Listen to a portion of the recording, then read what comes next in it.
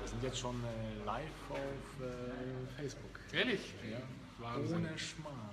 Ja. So, hallo zusammen. Äh, unglaublich aber wahr, wir haben einen Spontanbesuch von einem blauen Mensch hier Ja, bekommen. genau. Das ist der Andreas von Bodyscanning. Richtig? Genau, das passt.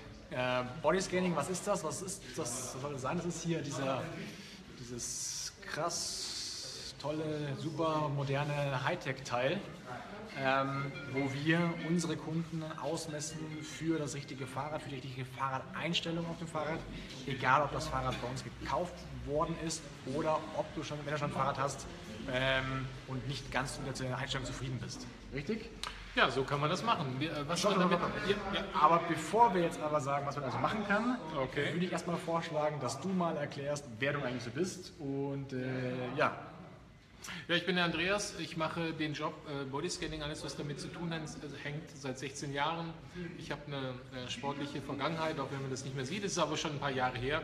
Und ähm, habe ganz gern das kombiniert und zwar die Wissenschaft der Anthropometrie mit der Fahrradeinstellung, das Ganze mit äh, ergonomischen Zutaten gewürzt, dass dann nachher ein, ein System rauskommt, wo es eine wirkliche Erleichterung, ein wirkliches Werkzeug ist für den Fahrradhändler, damit er schnell die Kunden auf das passende Fahrrad draufsetzen kann, was dann nachher passt, wo die Kunden zufrieden sind, schmerzfrei Rad fahren können. Das fängt äh, bei der richtigen Positionierung des Sattels, des ähm, Lenkers an, geht ähm, über die Form des Sattels äh, bis zu den Griffen. Das ist das, was wir machen. okay, also wir können sagen, du machst alles, damit jemand mit Spaß und ohne Schmerz auf dem Fahrrad drauf sitzt. Im Fahrradbereich machen wir das ganz genau. Wir machen das noch in anderen Bereichen, nämlich auch im Bekleidungsbereich, aber im Fahrradbereich ist das in der Tat so. Okay. Gibt es da irgendwie, wie, was hast, wie bist du dazu gekommen? Also hast du das früher gemacht? Du warst ja nicht, äh, bist ja nicht auf die Welt gekommen sein und dann auf einmal Bodyscanner gebaut haben, sondern es wird irgendwas davor passiert. Ja, wie das immer so ist, ich äh, war Sportler und ähm, wir wollten immer unser perfektes Rad haben, aber leider gab es nur das Fahrrad von der Stange. Ähm, und das war natürlich niemals optimal für den Körper angepasst. Und wir haben dann irgendwann mal das Wissen daraus zur, ja, zum Produkt gemacht und haben Bodyscanning entwickelt. Selbst von der Ausbildung äh, bin ich Ingenieur und habe äh, Elektrotechnik und äh, Arbeitswissenschaften studiert. Ist schon ein Schon bisschen länger her, ist schon ein bisschen her, deswegen musste ich mal überlegen. Aber das ist so ein bisschen der Hintergrund. Und als Ingenieur macht man ja gerne solche Sachen mal selbst und entwickelt das. Mittlerweile ist da ein großes Unternehmen raus geworden. Das ist das, was wir machen. Okay, das heißt, du hast eine kleine Sportlerkarriere im Hintergrund sozusagen. Genau. Also Was heißt eine Sportlerkarriere? Im Schach oder im... Nee, das will ich gar nicht sagen, aber es hat was mit Radfahren zu tun gehabt. Ähm, ähm, wir waren damals Anfang der 90er Jahre, als der Triathlonsport hochkam und äh, die im Winter man keinen Skilanglauf mehr machen konnte, hatten wir eine durchaus sportliche Triathlon-Vergangenheit und da kommt das Ganze her. Und dann war ihr unzufrieden mit dem, was das Fahrrad so hergegeben hat? Äh, Man kann sich ja vorstellen, dann kam die American Position, dann kamen diese ganzen Liegeräder, diese Aerolenker. äh, Es gab einen ganz großen Umbruch und es war ganz große Verunsicherung im Markt und wir wollten einfach gut und schnell sein. Das war der Grund, warum wir das gemacht haben.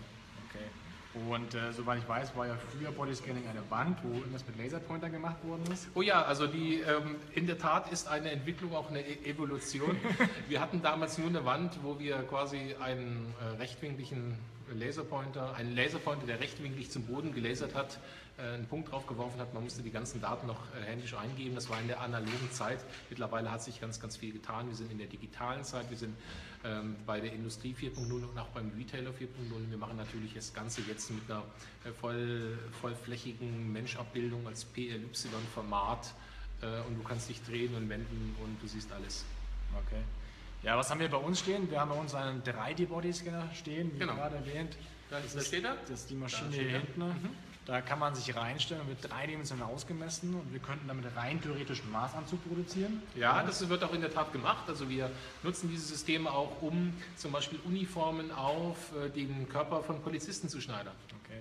Nicht bei uns im Laden, da geht es um Fahrräder, aber das ist glaube ich in der Schweiz. Genau, in Ja. der Schweiz ist das so. Ja. Und wir- wir nutzen das System, um das Fahrrad optimal einzustellen. Das heißt, wir brauchen keinen Maßanzug, sondern wir haben bestimmte Körperpunkte, die dann abgenommen werden und da können wir das Fahrrad optimal einstellen. Die Erfahrung ist super, wir sparen unheimlich viel Zeit, aber darum geht es gar nicht, sondern es geht darum, dass der Kunde perfekt auf dem Fahrrad drauf sitzt. Genau, und zwar innerhalb kürzester Zeit. Man muss sich ja vorstellen, dass äh, der Radfahrer, der sehr viel fährt, der hat natürlich irgendwann mal seine perfekte Radeinstellung, aber das geht halt immer über die Zeit, es geht immer über die Erfahrung, es geht immer über den Aufwand, den ich betreiben muss. Aber in so einer Situation, wo ich mich entscheiden muss für ein Fahrrad oder gegen ein Fahrrad, habe ich sehr häufig diese diese Entscheidungsgröße Zeit nicht und da muss es einfach schneller gehen. Ich brauche außerdem und ich möchte auch die Fachkompetenz des Verkäufers haben, des, des Fachmannes haben, damit ich gut auf dem Fahrrad drauf sitze. Ja.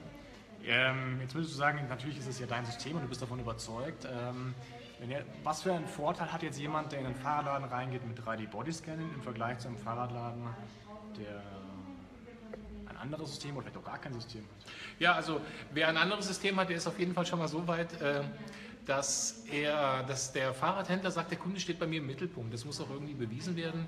Also äh, jeder, der, und wenn er einen, einen Gliedermaßstab aus Holz äh, nimmt und Längen misst, das ist schon mal auf jeden Fall ein Riesenvorteil. Das muss auch eigentlich so gemacht werden. Ähm, aber man sollte es selber ausprobieren. Schaut euch einfach die, vergleicht die unterschiedlichen Qualitäten, die ihr wahrnehmt als Fahrradfahrer. Geht in verschiedene Fahrradläden rein, testet das Ganze mal aus und dann äh, glaube ich, ist es sinnvoll, sich die Meinung selber zu bilden. Das ist wohl ein guter Tipp, einfach mal verschiedene Läden ausprobieren und schauen, wo man, fühlt man sich am wohlsten und äh, wie ist die Einstellung, also mit, mit, welcher Priorität wird auch eine Fahrradeinstellung äh, wahrgenommen. Ne? Also es gibt viele Läden, da kommt man rein, dann stellt dir jemand irgendein Fahrrad hin und ähm, das ist dann auch immer dein Fahrrad und deine Einstellung. Aber jemand, der 1,90 Meter groß ist, braucht eine andere Einstellung als jemand, der 1,50 Meter groß ist. Ganz genau. Wir haben das damals nicht akzeptiert, noch zu Sportlerzeiten. Und ich würde euch auch bitten da draußen, dass ihr das auch nicht akzeptiert. Ähm, die Anforderungen sind einfach so äh, divergent, so unterschiedlich, dass man dort ähm, ja, man braucht einfach die Fachberatung, äh, man braucht den richtigen Weg, der einem gezeigt wird. Und das gilt nicht nur für die Fahrradeinstellung, das heißt für die drei Kontaktpunkte, Pedale, Sattel und Lenker, sondern gilt auch für die Ausformung der Kontaktpunkte. Also auch der richtige Sattel ist denn wichtig. Wenn ich einmal die Position des Sattels habe, muss der Sattel außerdem noch der richtige sein. Okay. Äh, jetzt haben wir ein Fahrrad, da gibt es drei Kontaktpunkte. Pedale, Sattel, Lenker, genau. Wichtigste ist der Sattel, oder? Ähm, ja, ist das Wichtigste der Sattel, das kann ich gar nicht entscheiden. Für mich ist der Sattel immer wichtig gewesen, weil einfach das der, der Punkt äh, der Kraftentwicklung ist. Ja? Aber ähm, wir hatten auch andere Voraussetzungen. Wenn ich äh, zum Beispiel Handprobleme hätte bei längeren Touren, ist mit Sicherheit der Griff auch, das auch wichtig für mich. Weißt du, was ich damit ja, meine? Ja, im Grunde sind alle wichtig, ja. Im Grunde genommen sind alle wichtig. Aber ja. ich meine, wenn der Sattel nicht stimmt, dann haben wir das. Da fängt alles an. Bei der, bei der Einstellung fängt alles an. Und zwar bei der Satteleinstellung fängt alles an. Und man kann jetzt irgendwie, nachdem man die Sattelhöhe und die Sattelposition richtig gefunden hat, kann man die Sattelposition nicht ähm, zu Lasten des Abstandes Sattellenker wieder verändern, nur weil man vielleicht äh, den Vorbau nicht tauschen möchte. Das ja. geht nicht. Also, aber wir können freihändig fahren, das ist kein Problem. Aber ohne Sattel fahren ist nicht Genau, das ist ganz schwierig. Also Sattel ist schon eine ganz äh, elementare Geschichte. Und da fängt es auch an, die Fahrradeinstellung fängt auch dort an. Also ich bin irgendwie erstaunt, wenn ich mit Andreas spreche, wie viele Fachbegriffe man aus der Anatomie verwenden kann, wenn es um Fahrradeinstellung geht. Ja, also es ist gar nicht so simpel, ein Fahrrad richtig einzustellen. Die meisten machen sich aber viel, viel zu wenig Gedanken. Das ist auch unsere Erfahrung, dass viele Leute sich woanders ein Fahrrad gekauft haben und gesagt haben, du hast halt ein Fahrrad. Und irgendwie ist das Fahrrad zwar toll und die Ausstellung toll und der Preis war auch super, aber man fühlt sich einfach nicht wohl. Der Spaß ist aber nicht vorhanden. Und entscheidend für den Spaß, da wirst du mir zustimmen, ist einfach die richtige Einstellung. Ja, Wohlfühlen bedeutet Spaß und äh, Wohlfühlen geht halt nur durch die richtige Fahrradeinstellung. Das kann man sich ja ganz gut vorstellen. Wenn ich eine Fußlänge habe von 273 mm, dann kann ich alle möglichen Schuhgrößen anprobieren. Ich würde empfehlen Schuhgröße 43, äh, französisch Stich. Äh, dann kriegt man nämlich genau das, was man braucht. Ja, und beim Fahrrad ist es genauso, aber es ist nachher nicht ganz so einfach. Es sind mehrere Komponenten, die zu beachten sind. Äh, es ist eine hohe Präzision, es sind auch äh, Teile, die man messen muss, wo man so nicht einfach drankommt, zum Beispiel der Abstand der Sitzbahnhöcker.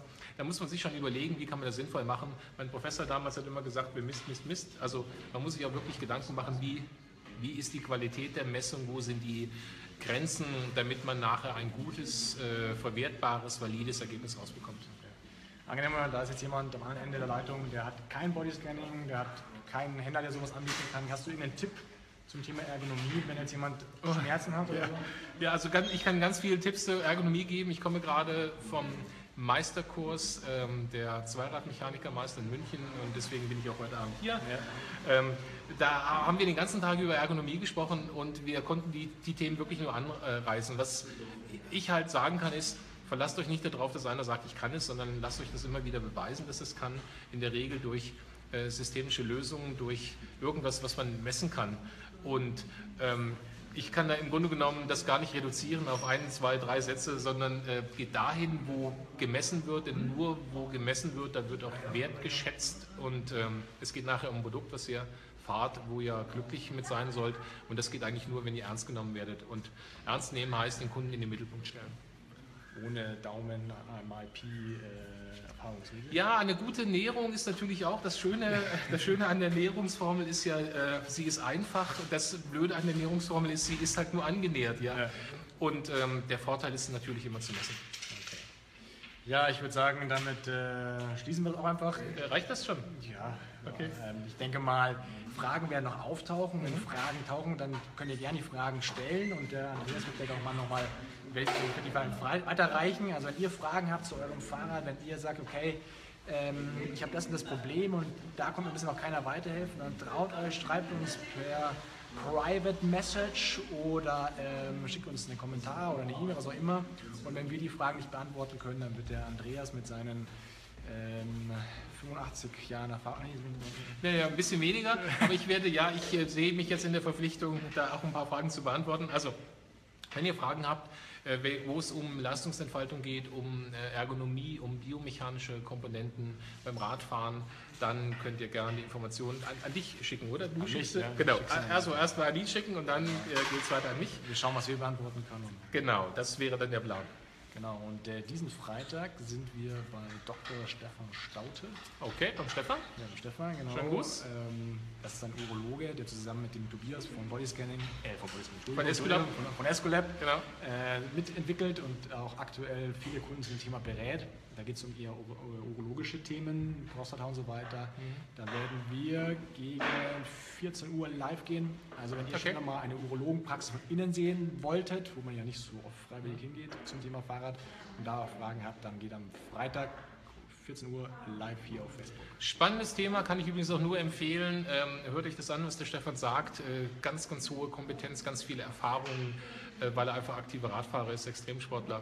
Und ähm, ja, es ist unglaublich. Man muss wissen, dass auf dem kleinen Sattel einfach eine große, äh, eine große Last herrscht, äh, gerade äh, wenn man sehr aufrecht auf dem Rad sitzt.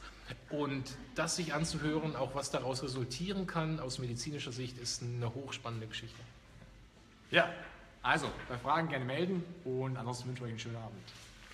Servus.